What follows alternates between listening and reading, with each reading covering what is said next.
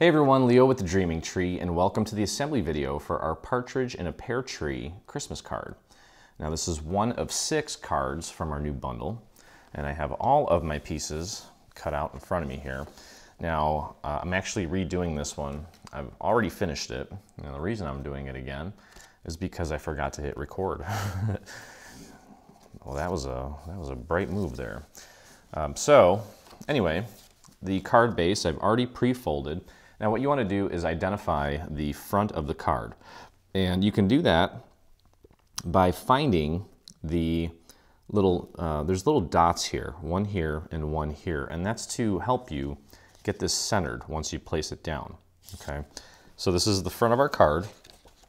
I'm gonna begin by just putting this panel inside, and this is where you're gonna write your little message or do your stamping, if you know how, you can use your machine to write your message and your sentiment or whatever you want to include in your Christmas card.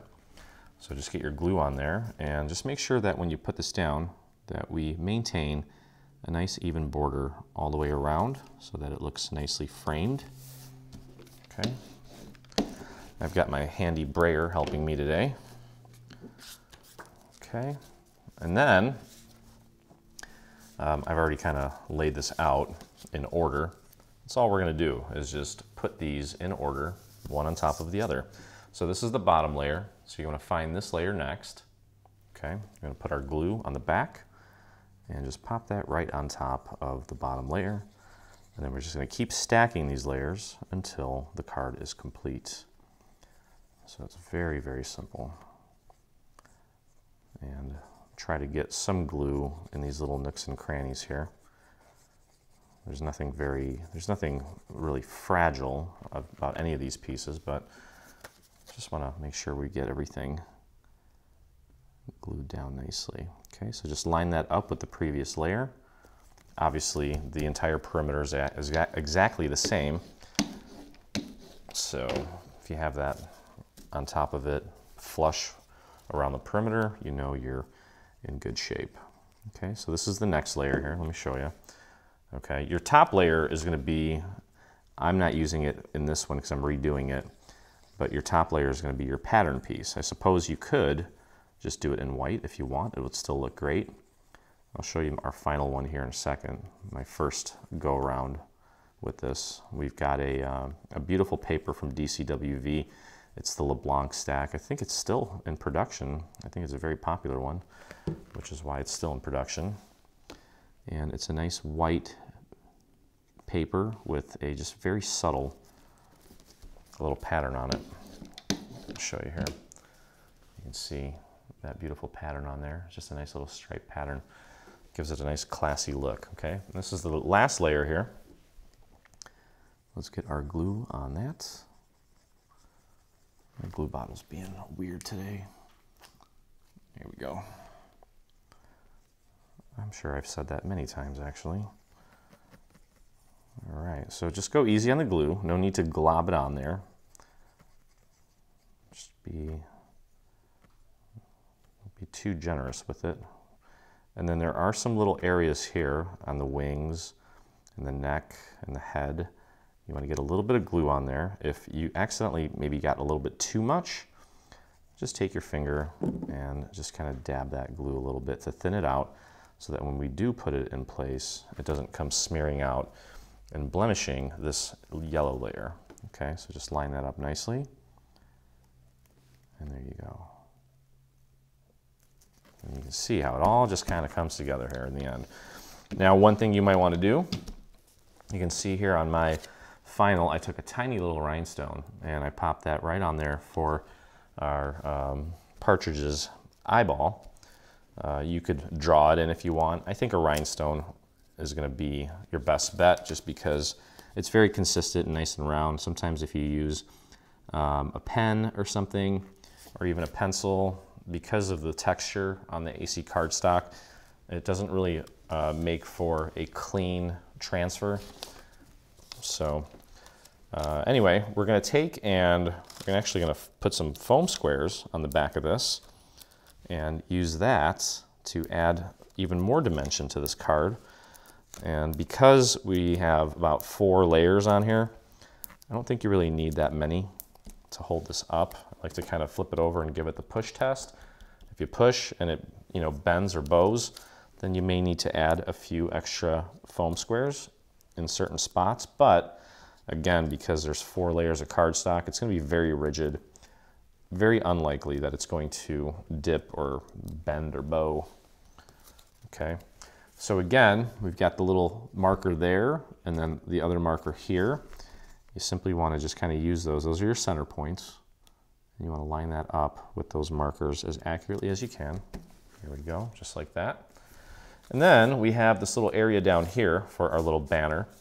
Now on the original card, you can see that I had a gold foil there. I didn't want to waste the gold foil, so I just used a yellow piece that somewhat resembles gold. We'll put glue on the white section, and then that is going to get glued to the top section here of this piece, just like so. Okay. And then actually going to take and also put some foam squares on this guy. And I'm going to do three on this one. I'm actually going to keep this card. I'll be able to send it out. I tried to choose colors that were very similar to the original, and I think it turned out really nice. So I'm just going to roll with it here. Okay. And then when we apply this, you simply want to just make sure that you have it in this orientation. And there's a point here, and there's also a point here in this valley. So that's kind of your, your guide to making sure that you've got it centered. And just try to leave an even amount of space here and here at the bottom so that the, uh, it's just, you know, the balance is, is just right. So there's your card, beautiful, very quick. And like every card from Dreaming Tree, we include a coordinating envelope. I've already pre-folded everything. And we have this little panel that's gonna go inside to give this kind of a two-toned effect or look. And I'm gonna begin by putting a little bit of glue uh, on these little small areas. And then I'll kind of run a little bit of glue around the perimeter of my bow. And then we'll also put some glue just around the perimeter of the actual panel. We don't want to, we didn't want to put glue in here because we're not really sure where to put it and where not to put it.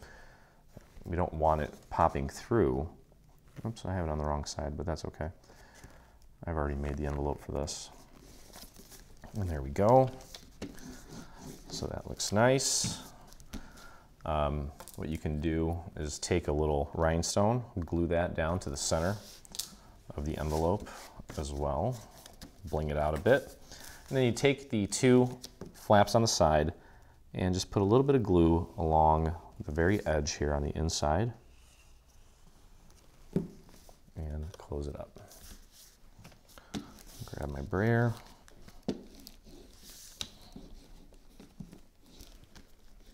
And keep holding that down until it sets. And you can see here, it's gonna fit in beautifully like that, okay? So as you probably, maybe you didn't see it, added some little gold pearls around the perimeter here, and then don't forget to give your partridge a little eyeball, but that is it for the partridge in a pear tree card. So anyway, hope you guys enjoyed the video. And if you make this or anything from our new bundle, I would love to see it and so would the rest of our community.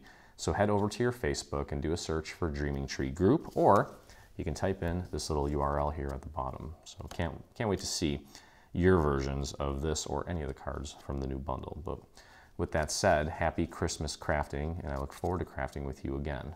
Hey, thanks for crafting along with me. Hope you enjoyed this video. If you did, check out some of our other videos, and also please consider hitting that subscribe button. And don't forget to visit our site and check out our free SVG section where we have over 140 free SVG files complete with assembly videos. I look forward to crafting with you soon.